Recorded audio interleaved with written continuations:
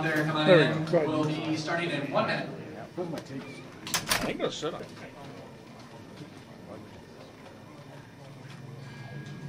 Oh yeah, those those were those were intense. Oh yeah. Well, back then we were we didn't have video like they do now. We had uh, animated slides. So we had the bake, so oh, the slide projector. Those are cool. Not easy. Not easy, because everything has to be timed just right. Like you said, you gotta get that, because if you start the button too soon and they're, they go up, and then they do one of these. You you set the whole thing off into motion.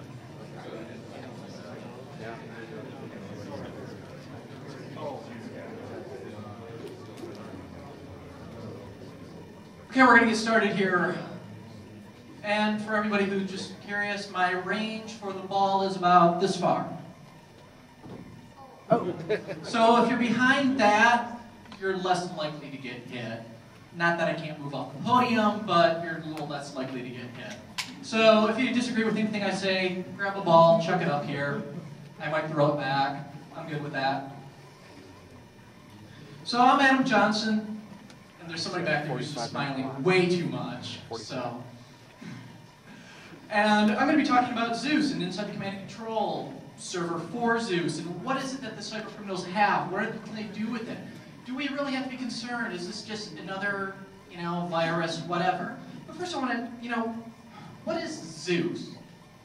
So, first thing I did is, you know, go to that great, awesome place of all wisdom, Wikipedia, and said, okay, show me what Zeus is. And they kind of came up with this as their first sentence. You know, so the various names for it, but is a Trojan horse that steals banking information by keystroke logging and form grabbing. Yeah, that's awesome. You know, that's great. That's a good description of what it did back when it came out, and it came out in about, oh, 2007. And we've progressed way past that. The tools progressed way past that. There's a lot more capabilities in Zeus now than what is indicated up there. And that's what we want to talk about today. Why, what is Zeus? Why do we have to take it seriously? And mostly, what can we do about it? And that last piece, uh, we might get to that. Let's just get a good look at the tool. What are the hackers using? What are they doing? So, why do I care about Zeus? The 80% is my number. I got it from going to Virus Total back in the, I don't know, May time frame. I created a brand new Zeus bot using their builder. And I submitted it to Virus Total. I went through 42-ish antivirus engines. And at that time, it came back that 40% of vendors were able to catch this as a virus and perceivably do something about it. So that left this big gap of 60%. Well, in preparing for this talk, I did this this week and also last week, and just under 80% of antivirus vendors can detect it. There's still about 20% of the vendors out there that can. And now the source code for the builder and all that stuff has been publicly available for six months. And I have less voice, so microphone number two. number two. All right, back. So, wow, that's not 80% of vendors now are catching it. The great thing is a lot of the major vendors do get it. You know, it's a lot of the smaller ones that are still missing it. Most, not all. If your antivirus vendor, for instance, happens to represent a canary, you might want to be concerned because uh, twice now I've created a new and their signatures were not able to identify. So it's still out there, it's still in the wild, it's still being used, and it's still really a benchmark of what the typical online banking Trojan does. There are a lot newer, better, less detected tools such as SpyEye out there, which do a great job of evading detection. Why, but the techniques that they're using are very, very similar. And that also brings into, well, are their techniques really that distinct, that difficult? Well, you do some type of social engineering of phishing, spear phishing, maybe email with an attachment, um, some type of maybe Flash or Adobe vulnerability that you're using to go grab an executable, bring it down, run it on the machine, and then have some control of the machine. That's what Zeus is trying to do. Well, you start looking at some of the reports that came out of the RSA breach. Well, what happened? Well, spear phishing email with a, I think that one had a new ODate in it for Flash inside Excel. But really, the same attack vector that was being used in the RSA for that initial, you know, coming on in is being used by the banking Trojans. So it's a lot of the same techniques you're going to see over and over again. It's just kind of the state of the virus industry. So what are we going to look at today? You know, why are we here? Zeus is old. You know, like I said, it's from 2007 initially. Why do we even still care about it? Most vendors can kick it out. Well, what we're going to be talking about is not really on, hey, I'm the victim, or this is in my organization, or that side of thing. We want to be the bot master. We want to go through the server installation. We want to build our own bots. We want to distribute that bot, talk about the distribution mechanism of Zeus or lack thereof. And we also want to know, hey, what can we do with this thing once it's on somebody's desktop? Are we really limited just to form grabbing, grabbing banking credentials and shipping them out? And we're also going to be talking about Back Connect and the Back Connect server. Really cool piece of technology. Um, if you're familiar with the Netcat Gender Bender, it's a very, very polished version of that. If you're not, we'll get into it. So basically what we're at is how do the bad guys use Zeus? What we're not looking at. We're not looking at the host infected machine as much as we can infect one. We, we, I don't care about that today. You know, if I'm the bad guy, it doesn't matter. I'm not going to talk about cleaning instructions. If you need to have cleaning instructions, you know, do the generic, just reimage the box, everything's gone. We're not going to go into reverse engineering and find out, okay, well, how does the protocols actually communicate here, and how can I reverse this? And no, that's not going to be in this conversation. So, we're just looking at, hey, what does it take to run this control server? There's been a lot of talk, I've seen a lot of screenshots, but that doesn't really give you a good feel for what does it look like? How do you use it? How responsive is it? So we're going to talk about that a little bit. And yeah, we're not going to talk about how to actually commit a crime. If you get that, you know, um, you're on your own on that one. Um, yeah. So what does a Zeus command and control server implementation look like? Well, first, obviously, you need a computer. It doesn't matter, it can be Linux, it can be Windows, whatever you have handy, it's good. But you need an HTTP server. Okay, that's easy. Go install IIS server on your Windows box and you're there. You need to install PHP. Okay, that's a download, that's easy. Zend Optimizer, download, easy. MySQL, same thing, that's just a download, it's pretty easy. I mean, this is all bread and butter setting up a website. And there's also some various registries, keys, tweaks, settings, uh, file permissions, some things you have to go through there. One of the most handy things that you can have is the Zeus user guide. And to be honest, this user guide is actually more useful than some security vendors' user guides. It's, a, it's easier to understand at times, and it has detailed instructions, and it works. I just wish a lot of my security vendors could achieve that great milestone of good documentation. So, you know, if you'll just glance at this, and by the way, right there, that HTTP link, the paste html.com, whatever, that has this out there. It's a quick Google search. Just search, you know, Zeus user guide. It's out there. It's available. Same with the implement the install for Zeus. If you want to play around with it at home, absolutely. You know, go have fun. Infect your own machines. Don't infect others. That would be, you know, illegal, questionable, flexible morals and ethics. And I don't really condone doing that. So what do we have going on now? Um, we do the install, we install those applications, we get our web server up and running, we got our database, and the first thing that we do is, once everything's up and running, we go to this URL, and that configures the link from the web server into the database automatically for you. To be honest, it is a simple, simple install. And right now we're going through the PowerPoints, and I said this was going to be a low PowerPoint, so I hope to be off of these pretty quickly, and we're going to be going into VM. And I think I made the appropriate sacrifices for the demons of live demonstration that they are not going to completely and totally trash this talk.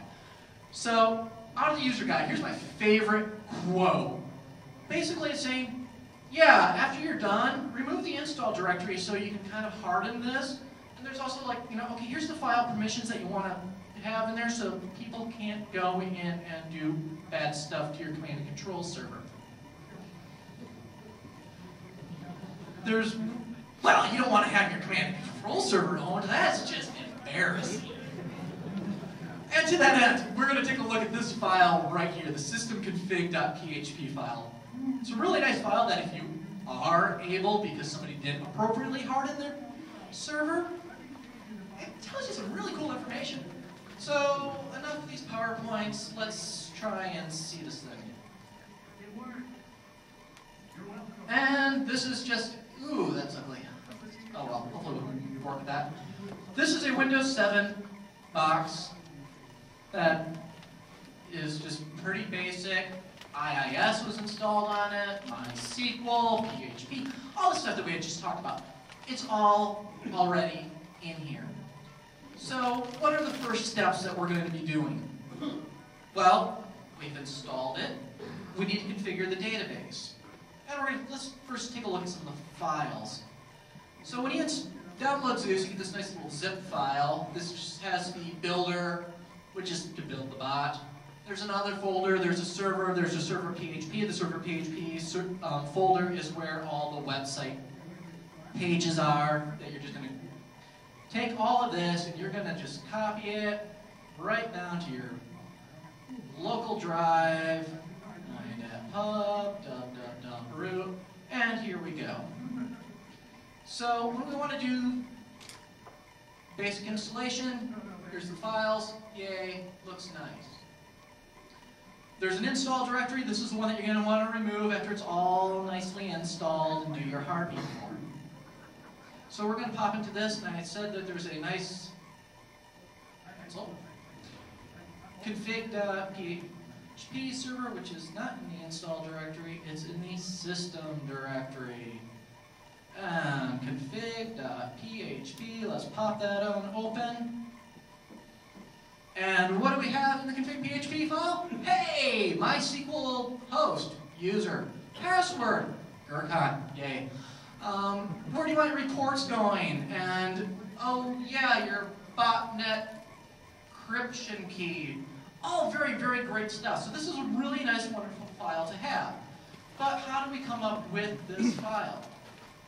Let's go ahead and close that. We're just going to rename uh, old. Yes. Okay, so now we don't have a config.php file. Now let's go do our install. Now I am not attached to the internet, and I do not want to connect because I know where I am. That's right. So, this is your first initial screen that you're going to get into. You're going to set your admin password. You're going to set your MySQL server, and it's very much just that easy. So what do I want my root user password to be? Uh, let's go Gurkhan.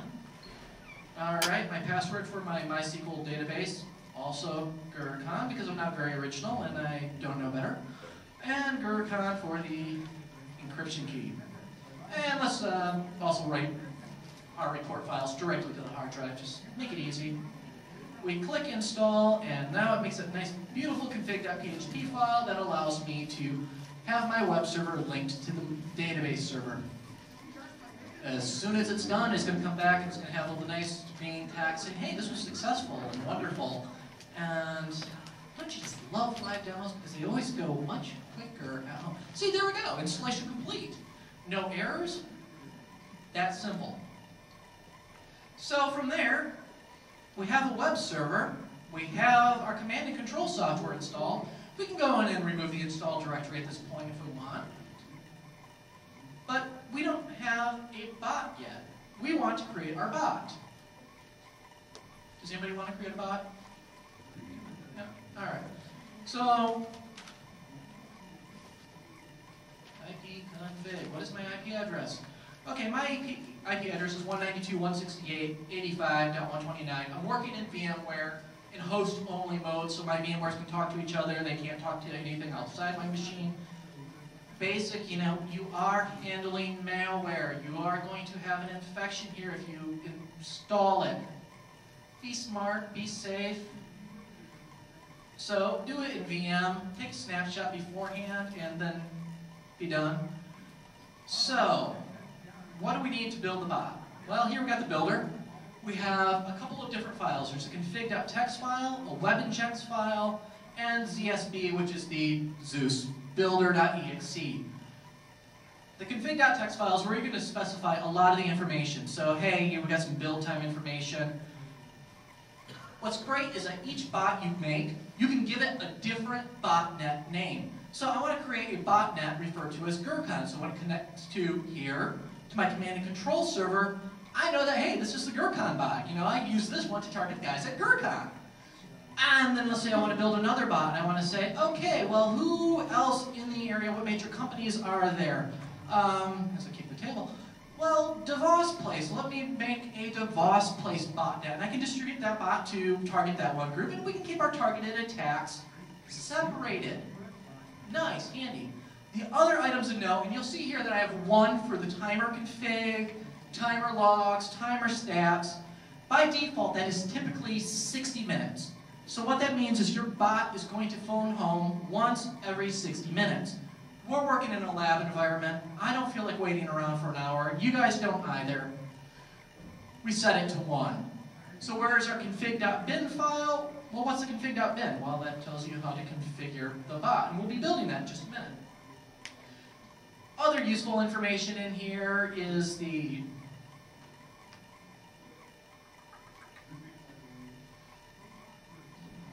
URL loader, the bot.exe is the exe, the gate.bin is where it talks back to the command and control server. The web injects is for what banks you're going to scam or what websites you want to go. So when we go into the web injects folder, what we see is, all right, who are we going to target today? eGold? Sure, sounds good. Wells Fargo? Yep, that's one's built in there. Um, anybody want to go banking at Fifth Third? That's in there. PayPal's in there. U.S. Bank's in there. You get the idea. It's already built with a lot of bank website information already in. But you can just edit this file and create your own. A little bit more difficult, but once again, there's this really handy user's guide that tells you how, exactly how to do it. So you can make it, you know, so hey, you want to target this company's over here's their mail server, and you know their mail server, where they put that. You can put that in there. Um, let's say there's a bank in there that you don't want, and you want to inject an additional field into their system and say, hey, you need to put in your user ID, your password, and now you need to put in your ATM's PIN number. Yeah, that's where you do it. That's where you configure it. So let's go build a bot. Here we have the Zeus builder, and it's pretty straightforward information. This is the version that it is. Let's put an encryption key in. Gurkhan. We have, where's our config.txt file? Well, hey, I put it right there. Easy. Settings. Do you want it in English or Russian? Yeah, Russian. Great. That'd be awesome. So let's build our bot. This is going to build a bot that the MD5 is going to be different potentially than any other bot that's out there. It's going to be fresh, it's going to be new. The builder takes care of doing that. Here we have the config.bin, which says, okay, here's a configuration file of how you're going to talk to me. Let's save that off. So there's our config.bin, and here's our bot.exe. Build successful. Great. So now we have our bot file. The bot is what the piece of code that you're going to install. The config.bin is going to reside on your web server, and you're going to use that to tell it how to talk to you. And that config.bin file is encrypted. So it doesn't necessarily easily just, oh hey, there's a config.bin, let's take that and cough it up. You know, what does this mean? Where, what's in there? So that's the builder. We just built our first bot. Anybody here built a bot before? Me? Okay. It's easy to create a brand new bot. And once again, if we take this and we just go and run it through virus total, run it through the 42 antivirus engines, you're going to come up with a report saying, hey, about 28% of them didn't pass it. And you're going to say, hey, I'm a brilliant hacker. I'm going to go see that company's website and see who their reference accounts are. Because we're just evil like that. So another reason not to be a reference account for your antivirus vendor. So we have our custom created bot. It was out in our directory. And we're going to just take that, the config.bin, the bot.exe, and we're going to copy them over to our web server. Copy, and then select the right folder. Data, C drive, IDEPUB, and paste. I had another version out there. Copy and replace, copy and replace. You need admin privileges. Yeah, I have them. Don't worry about it. So here we have our newly configured bot that we're about ready to unleash onto the world. So what do we have within Zeus to distribute our new executable, to distribute our bot? And the answer to that is pretty much nothing. It doesn't really have a distribution mechanism. You can put them on your web server like we just did here in the demo, but you still need to drive somebody to it. You still need a delivery mechanism for that, and Zeus doesn't do that. Now, there's a lot of exploit kits out there that can, and if you want to see a real easy way to set up um, a website that can go on compromised browsers, go take a look at Metasploit and their browser autopwn feature. That sets up a website, has for you, you give it a port number, it's real great, you put your executable in there, is what you want to deliver, and it will just set up all the various vulnerabilities for you. Your victim, you send to that website, and once they get to that website, it's going to just quickly ratchet through all 20 or so different browser-based vulnerabilities, flash vulnerabilities, whatever you have, it can do, and try and deliver your executable. So you, at this point, you're looking at a spear phishing email saying, hey, you know what? Hey, come and check out this site. It's great. It's awesome. We have free candy. Get in the van. Well, okay, we can be a little more polite than that. Does this rag smell like chloroform to you? Some of the best pickup lines that I've ever heard right there. So let's close this down. All right, so we've set up our command and control server. We've created our bot.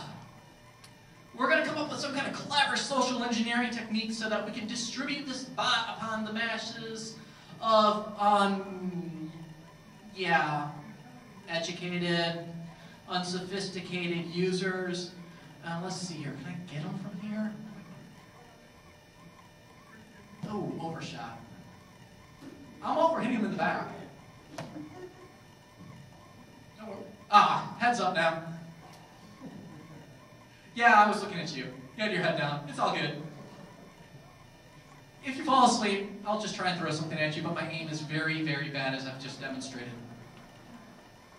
So here we have our bot, it's ready, it's on our web server, we have a victim in mind, we're going to target them, we're going to send out a spear phishing campaign, we do that. In the meantime, we want to know, hey, have they done it yet? And for that, that link, this link, we go to the control panel. So here's our Zeus command and control control panel. log in because, you know, you don't want to have this opened up to the internet and have somebody accidentally try and take over your botnet, which has happened many times. All right, it's a pretty simple web interface. You can see at this time, we have like one report in there because I've had one from beforehand. We don't have any bots reporting in, nothing of the sort. Let's start up another Windows box. Oh, really? Thanks. So here we have our admin console, and we have some generic information about, hey, how many do we bot, what are our total number of bots, which ones have been active, have been reporting in, you know, right now we have our bot configured to call back every minute. Might be a little excessive, but hey, that's fine. OSs, we're going to have a breakdown of the various operating systems that we're seeing. Hey, are we seeing Windows XP? Are we seeing Vista? Are we seeing Windows 2000? Are we seeing, seeing Server OS? Because Server OSs are oh so interesting. In our botnet section, hey, you know, we have some information about managing our bots. Woohoo. Do some searches, grab some reports. Scripts is really, really interesting, and we're going to talk about scripts in just a moment here. The scripts are the various commands that you can send to the bot and have them do, have them execute. And this is really what makes this not just a password stealing Trojan at this point. Report generation, Jabber notification, hey, if you have a Jabber account, you will suddenly see a bot that's being very active and you want to go check that one out in real time. This will let you know System, okay, yep. Like I said, PHP is there, Zend Engine's there, MySQL's there, local paths. Options, you know, hey, we set all of this initially when we set up the server, we did the install. Uh, user information, screenshot options. Screenshot options is very nice because what you're doing with the screenshot is not your own screen, but where your bot's installed. Go grab it. Bring it back. Go see what that desktop looks like. Users, because hey, you know, when you're in the cyber crime enterprise, can't be expected to be there all day. You need to have henchmen. I mean, that's what henchmen are for. Give them login accounts. Give them permissions appropriate to them. So, scripts. We're going to add a new script. This is where the user guide comes in very handy. And we're going to jump back to the PowerPoint, which is Alt-Tab on this screen. Okay, interesting files. We saw the config.php where we saw the MySQL root password installed. Uh, two files for creation of the bot, config.txt, the web injects, you know, how it talks, what it's going to try and grab, what it's going to try and do for you. Output is a bot.exe and a configuration bin. We were in VMware, we toured the interface, and now we're into scripts. Now these are the various commands that we can have our bot do. Now this is just what's scanned coming right out of the box in a vanilla implementation of Zeus. OS shutdown, OS reboot. Why in the world would you want to do that? Well, you know, maybe some features or any something that you else you install needs you to bounce the box afterwards. Maybe you want to try and grab the Windows credentials because forcing the user to log off, shutting them down, making them reboot. What's the next thing that's going to happen? They're going to authenticate again. You know, if it's a screensaver, it might just be entering a password. If it's a workstation, you know, it might be type in the user ID and password again if it doesn't store the user ID. But uninstall, hey, we're done doing our evil we're, we want to just be done with that box. We have all the information we want. Get rid of it. It's of no value. Get it off the system. Update. We can update our configuration file. We tell the bot to, hey, go out there and grab it and be new and fresh and good. Um, the bot BC add and BC remove. BC is the backnet server. And this is where I was talking about, it's like the Netcat gender bender. If you're not familiar with that term, it's one that I saw recently, well, recently, a few years back, in a presentation by Ed Scotus on top pen testers. And essentially what it's doing is, okay, we own a box on the inside of the network, but we can't talk to it Because it's behind a firewall, it's behind a global NAT statement. We just can't talk to it directly, and we want to. So what we do is we say, all right, let's take this, let's install Netcat, and let's go out the door on port 80, because everybody allows port 80 out the door. That's good, you need that for browsing the web. So we connect to a server on port 80. But it's our server. And we own it, and we say, okay, well, the information that you're sending down that pipe, let's just take that and turn it around and have that send it into the application we want. So what BadConnect does for Zeus is it grab, it just really simplifies this because that took a lot of commands to, okay, pipe the output of here to the input of here, pipe the input of here to the output of there, run it over these ports instead, so you know you have SSH where you pipe through, it was a mess and it was very difficult to set up. So what we got with BadConnect, what we're doing with this is, all right, bot, send traffic here on this port instead of the one that it would normally go out on. Command and control server application. I'm going to talk back to you, this other server that we have, on a different port, and we're going to get the information this way. And we're going to be able to interact with the bot and really streamline this process. So what it's built in with is, for instance, VNC or RDP. So you have remote access of this machine. You tell the bot to, all right, go start up, connect here. I grab that session once you're connected, and now I'm RDP'd onto your box. Even though you're behind a firewall and a global NAT statement. I have your desktop. I can see it. I can do what I want with it. I can pretend I'm you, and I, since I have your banking credentials, I'm going to go to your bank's website and I'm going to initiate a transfer. Not that we would do that, but it's there. And your bank's going to go, oh, I know who this is. They're coming from an IP address that we recognize as them because we're just already peeped to that box and that box is then talking back out.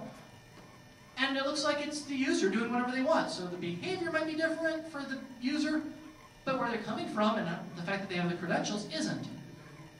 By HTTP inject, disable, enable, let's turn on and off the different web injects.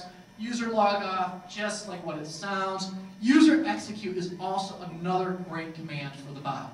What you can do here is you say, okay, go and run this command, run calc.exe, and calculator.exe comes up, and you can use a calculator. Woohoo. But you can also specify a URL. So let's say we have a new tool that we want to use. We have a new remote administration tool that's going to be easier, streamlined, faster, and we put it out on the internet. All right, execute, put in the URL, it automatically downloads, and it runs. We have, for instance, a Microsoft Office document. Same thing. Get cookie information, user cookies remove, uh, cert get, cert remove. Yeah, if you do have two-factor authentication using a public key infrastructure and you have a certificate installed, I can grab your credentials, I can grab your certificate, I connect to your corporate VPN as you. Great. Blocking, unblocking URLs, any home pages.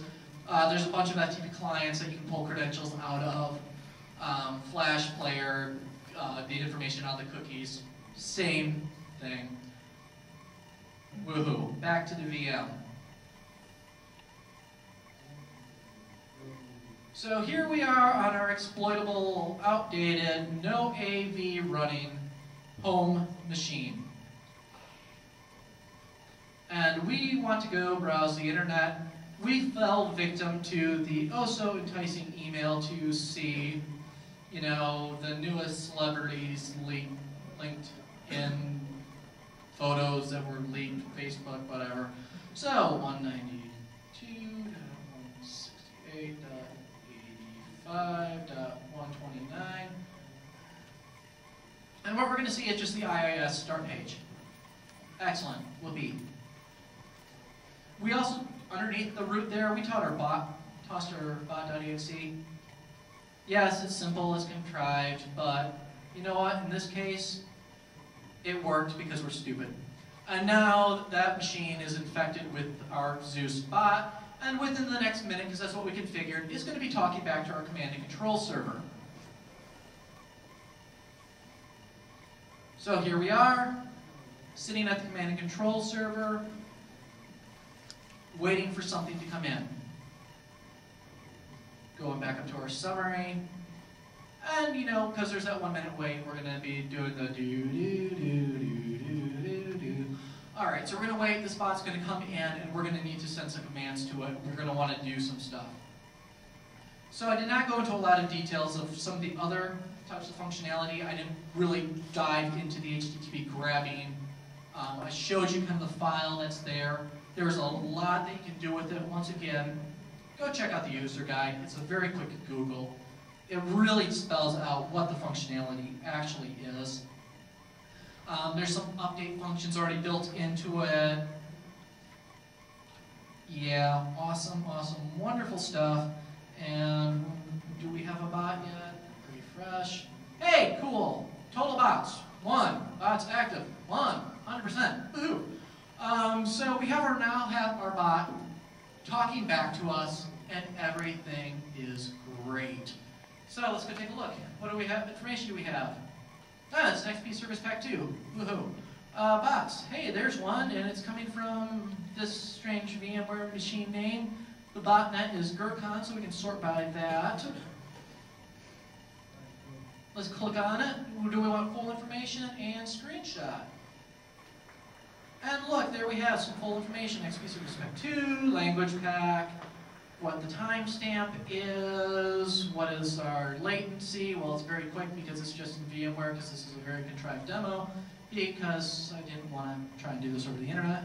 And there's our screenshot showing that we went to that IIS-7 server.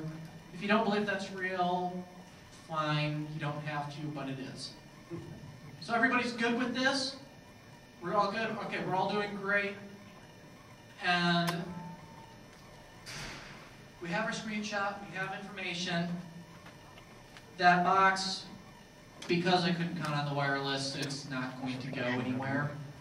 There's no connection to the internet for us right now, mm-hmm. otherwise we go to a big website, fill up some authentication credentials, but sorry guys, I just did not trust having an internet access. you just feel lucky, I mean a live demo is could go very, very tragically wrong. Look at me plug in USB in my Windows 98 box.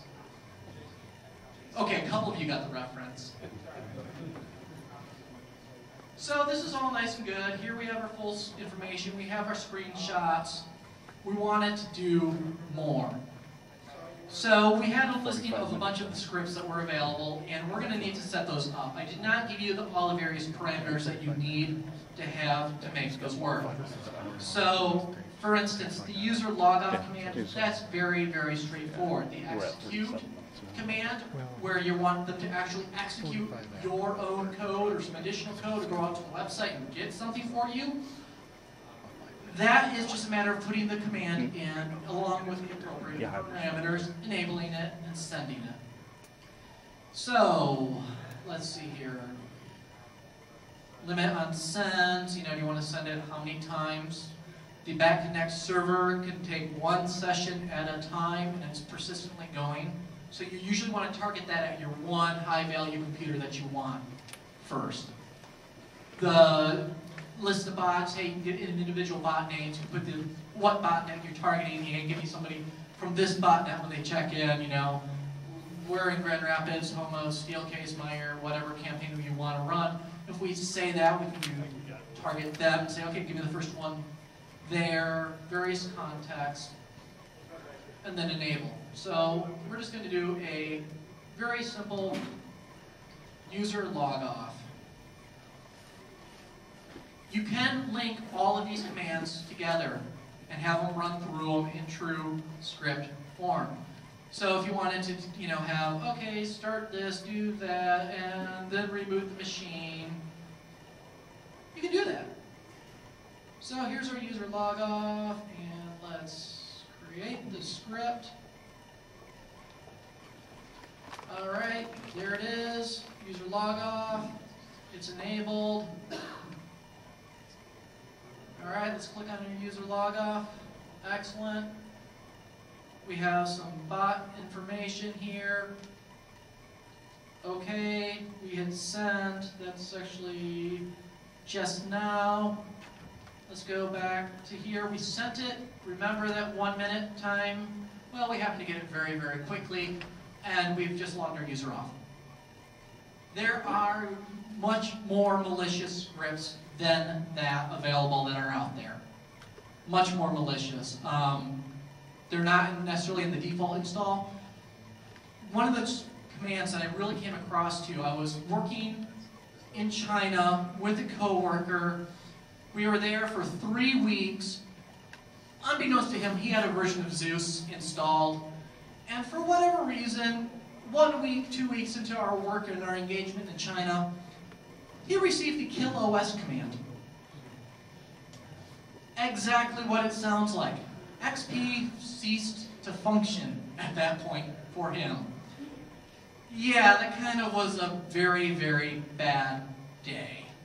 For him, at least. You know, I just kind of pointed and laughed and helped him grab a USB drive, get to a DOS prompt, and grid his data off. But there's just not much you can do at that point. So there are more malicious things that you can do if you want to be truly evil and terrible and bad. Everybody got a good feel for this. This doesn't quite match the definition that we saw from Wikipedia that simply said, hey, it grabs form information and pulls it. We're doing a lot more here. I mean, there's remote administration capabilities in here. Hey, rats. I've heard the term rat.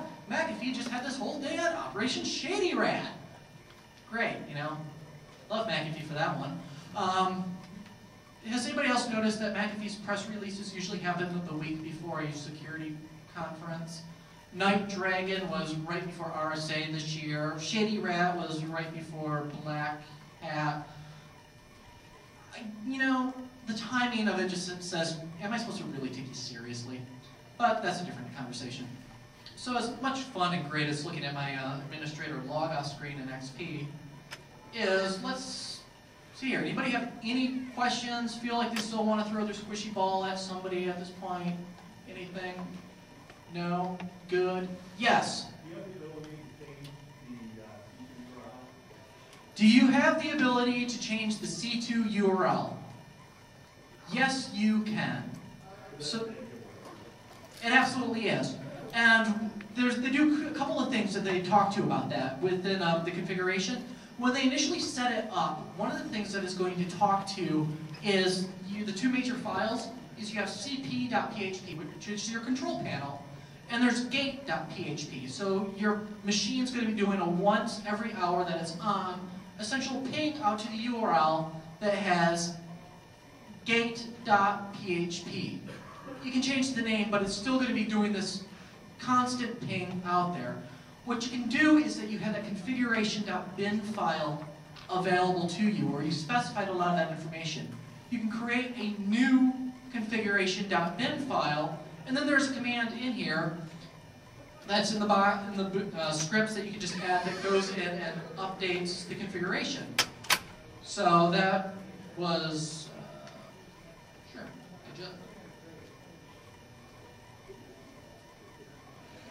Did uh, bot update, update the bot configuration file. So you just go through that initial process where we created that new bot. You can create a new configuration bin.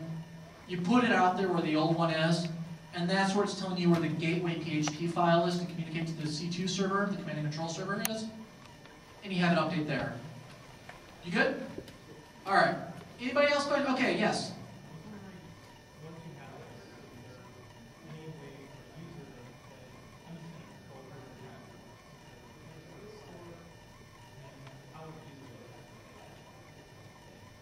I'm just checking my time here. I think I got a couple minutes. Okay.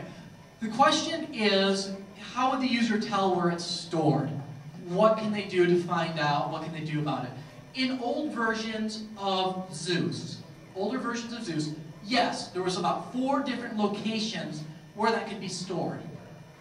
In the newer versions of Zeus, the stuff that's now publicly available as of early part of this year, it doesn't always store it in the exact same place. It's far more random. It has more of a random fo- folder name.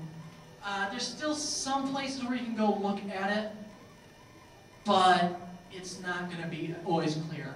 Um, the best thing to use and most complicated thing to use at this point is a lot of memory forensics tools, memory analysis, to see the process running in memory. Um, volatility with some special configuration um, can go out and find that for you and it can extract all the encryption information. There's some cool, really powerful tools that can do it. Yes? The, I'm sorry, what? I feel much better. This one, up one, right there. That's the URL you're looking for? Yeah, I went looking for that the other day because I have a printed off copy of it. I just went to Google, and typed in Zeus user guide. There's the URL, and it's just a you know paste HTML. Nice pages of goodness. Woohoo! Very handy. All right, and I think I'm just about done, or do I have one question left? I'm done. I'm being cut off. All right. Well, I'm, and well, oh, wait, we got one more.